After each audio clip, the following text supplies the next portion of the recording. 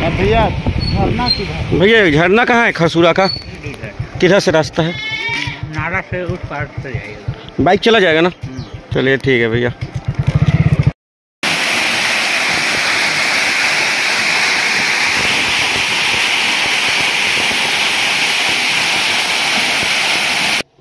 Hello friend मैं सुरेश ओझा स्वागत करता हूँ आपका अपने चैनल ब्लॉगर ओझा में।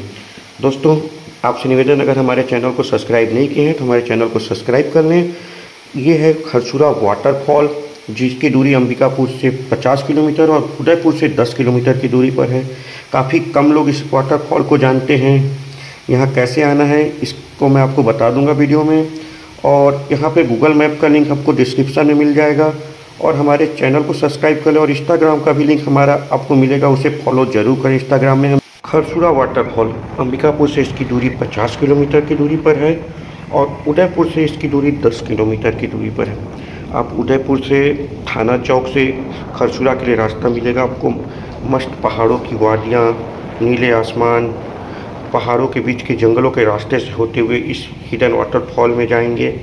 अंबिकापुर से 50 किलोमीटर की दूरी पर और उदयपुर से 10 किलोमीटर की दूरी पर।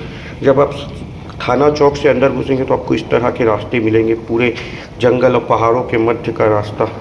काफ़ी अच्छा रास्ता भी है यहाँ आने के लिए।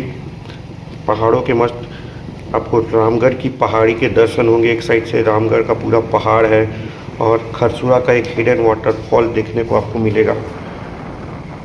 कुछ आप किसी से पूछते हुए भी यहाँ पहुँच सकते हैं, उदयपुर से आएँगे कि खरसुरा वाटरफॉल कहाँ है। काफ़ी अच्छा दृश्य लग रहा है देख के पहाड़ों के मध्य। भैया झरना किधर? भैया झरना कहाँ है? खरसुरा का? किधर से रास्ता है? नारा से उस पार से जाएगा बाइक चला जाएगा ना? चलिए ठीक है भैया। पूछेंगे रुको ना। भैया In से 200 meters, slide right. ना भैया ये क्या बोलते हैं? खरसूरा का झरना किधर है? हाँ। हाँ? हाँ। वही ले जाएगा। गाड़ी चला जाएगा ना? चलिए भैया धन्यवाद। के पास बाबा के पास। चल बाबा के पास। नहीं बताएँगे। बाबा खरसुरा का झरना? यही में यही में ना? हाँ चलो ठीक। इन झ सतवाहिनी झरना में हम लोग पहुँच चुके हैं खरसूरा उदयपुर में। यहाँ पिकनिक मनाने का काफ़ी अच्छा स्पॉट है। देख सकते हैं दूर दूर से काफ़ी लोग आए हैं। हम लोग भी आए हैं अभी। उधर भी पिकनिक मन रहा है।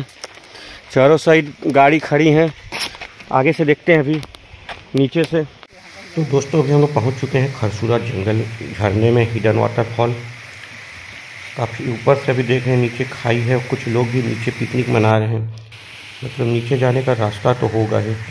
फिर लोगों से पूछे नीचे का पहाड़ों के ऊपर का दृश्य देखिए, नीचे का कितना सुंदर दृश्य दिख रहा है, प्राकृतिक का दृश्य। छत्तीसगढ़ के जंगल काफ़ी अच्छे लग रहे हैं। चलिए हम नीचे का रास्ता खोजते हैं, नीचे चलते हैं। मतलब फुल ट्रैकिंग वाला माहौल है भाई। मिट्टी के फिसलने का भी डर है। आराम से चलेंगे। जब आप नीचे उतरेंगे तो आपको बहुत ही अच्छा दृश्य देखने को मिलेगा, झरने का। जब पहाड़ से नीचे, ज़्यादा नीचे पहाड़ भी नहीं है, अच्छे रास्ते हैं, लेकिन बच्चों के साथ नीचे उतरने की कोशिश ना करें। फिसल सकते हैं। बहुत ही अच्छा झरना लग रहा है पहाड़ों के मध्य। पहाड़ों से झरझर कल कल करती हुई झरने की आवाज़। और मनमोहक दृश्य, लोग नीचे भी पिकनिक मना ही रहे हैं। बहुत ही अच्छा दृश्य लग रहा है, शानदार दृश्य है भाई। मतलब पूरी थकावट दूर हो गई। इतने दूर आने के बाद देख सकते हैं। ठंडी के समय यहाँ काफ़ी पिकनिक मनाने भी लोग आते हैं आसपास के गाँव वाले। लोगों की नज़रों से दूर ये झरना अभी ज़्यादा लोग यहाँ नहीं आ पाते हैं। अंबिकापुर के लोग, आसपास के लोग को अभी ये पता भी नहीं है। केवल गाँव या गाँव के आसपास के ही लोग जानते हैं। उदयपुर तक के लोग यहाँ पिकनिक मनाने आते हैं। लेकिन पिकनिक मनाने के लिए बहुत ही अच्छा झर- झरना है। और बारह मासी झरना है। बरसात के समय यहाँ काफ़ी पानी भी गर, बहता है। आप देख सकते हैं दृश्य यहाँ का। पिकनिक मनाने के लिए काफ़ी अच्छा जगह भी है। आप ऊपर भी पिकनिक मना सकते हैं। और देखिए पहाड़ों में गुफे भी बने हुए हैं। पहाड़ों के मध्य काफ़ी गुफा हैं। छोटे छोटे गुफा भी हैं। और पहाड़ों के ही मध्य से पानी नीचे आ रहा है। मतलब हम लोग सोचते हैं ना, सरगुजा में क्या है? सरगुजा में ऐसे काफ़ी झरने हैं, जिसे देख कर ना मन खुश हो जाता है।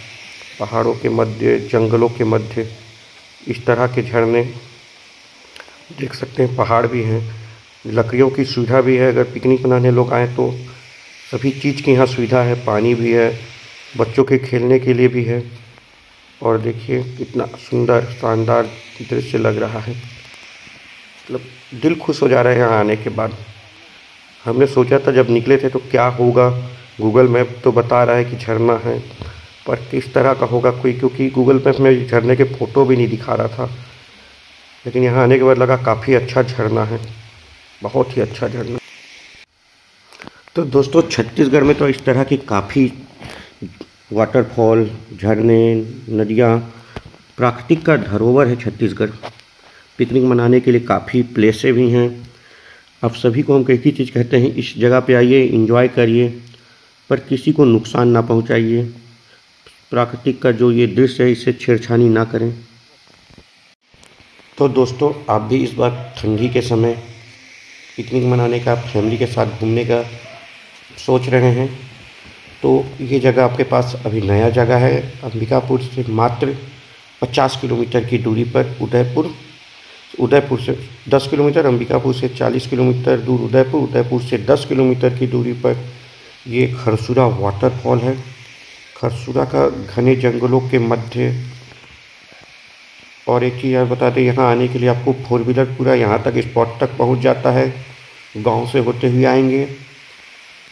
गाँव के ही मध्य एक झरना है बोला जाए तो गाँव से खरसूरा का जो गाँव है, वहाँ से गाँव से दो किलोमीटर की दूरी पर ही ये झरना पड़ता है। पिकनिक मनाने के लिए, बच्चों के साथ घूमने के लिए काफ़ी अच्छा जगह है ये इस बार। नया जगह है। यहाँ भी आइए सरगुजा के जितने हमारे छत्तीसगढ़ और सरगुजा के टूरिस्ट स्पॉट हैं, इसे आप देखिए। पिकनिक मनाइए यहाँ, समय बिताइए। गंदा ना करें इस जगह को। काफ़ी अच्छा जंगलों के मध्य देख सकते हैं।